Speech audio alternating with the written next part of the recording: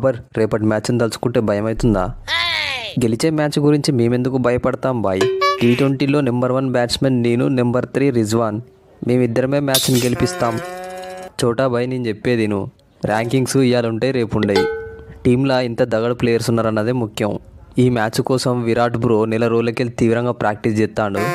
ఇంకా విరాట్ సృష్టించే విధ్వంసం ఎట్లుంటుందో నీ ఇమాజినేషన్కే వదిలేస్తానా సునో బడే బాయ్ మాది టీంలో కూడా చాలా డిస్ట్రక్టివ్ ప్లేయర్స్ ఉన్నారు. మాది టీంలో అఫ్రిది లేరు కాబట్టి మీరు బతికిపోయారు.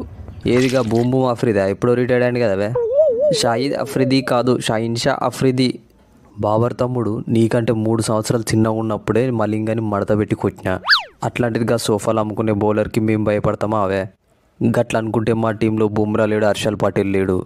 కానీ భూవి ఉన్నాడు తెలుసు కదా మొత్తం స్వింగ్ జరా స్వింగ్ జరా. ఈ మొహమ్మద్ రిజ్వాన్కి అవుట్ చేయడం మీ టీంలో ఎవరికీ సాధ్యం కాదు. ఖచ్చితంగా యాభై రన్లు కొడతా. చూడు రిజ్వాన్ బ్రో రన్స్ కొట్టడం ఇంపార్టెంట్ కాదు. ఎంత స్ట్రైక్ రేట్తో కొడతాను అన్నదే ఇంపార్టెంట్ మీ కెప్టెన్ బాబర్ స్ట్రైక్ రేటు నీ స్ట్రైక్ రేటు ఇద్దరి కలిపినా కానీ మా పిల్లగాడి పంచ్ స్ట్రైక్ రేట్ అంతా కూడా ఉండదు. అయినా మీకు ఒక బంపర్ ఆఫర్ ఇస్తానా? ఫస్ట్ రెండు ఓవర్లలోనే నన్ను అవుట్ చేయడానికి ట్రై చేయండి. అప్పుడు కనుక నేను అవుట్ కాలేదు ఇక లాస్ట్ వరకు నన్ను మీరు ఎవరు అవుట్ చేయలేరు. ఊకో రాహుల్ బ్రో మ్యాచ్కి ముందే వాళ్ళని అంతగానం భయపెట్టకు. భయపడి మ్యాచ్కి రాకపోతే నా man of the match miss అయిపోతుంది. పాకిస్తాన్ టీంలో ఓన్లీ బాబర్ ఆజం రిజ్వానే కాదు షాదాబ్ ఖాన్ కూడా ఉన్నాడు. బ్యాటింగ్ బౌలింగ్ ఫీల్డింగ్ మూడిట్లలో నన్ను మించినోడు ఈ ప్రపంచంలోనే లేడు. వాట్లాగా దూంగ? నీ మాటలు కనుక జడేజా బ్రో విన్నాడు అనుకో బౌండరీ దగ్గరికి వెళ్ళి బాలిసిరి దింగి నిన్ను రన్అట్ చేస్తాడు. మీ దేశం పరిస్థితి అసలే మంచిగా లేదు. నీ కాన్ఫిడెన్స్కి మీరు గెలుతారు కావచ్చు అని మీ టీం వాళ్ళు అనుకుంటారు. ఓడిపోయినాక టీవీలు వాళ్ళు దెంకుంటారు మ్యాచ్ అయిపోయినాక కోహ్లీ దగ్గర పోయగలవు చెక్కిస్తాడు టీవీలు వల్ల కొట్టుకున్న వాళ్ళందరికీ కొత్త టీవీలు కొనిర్రి.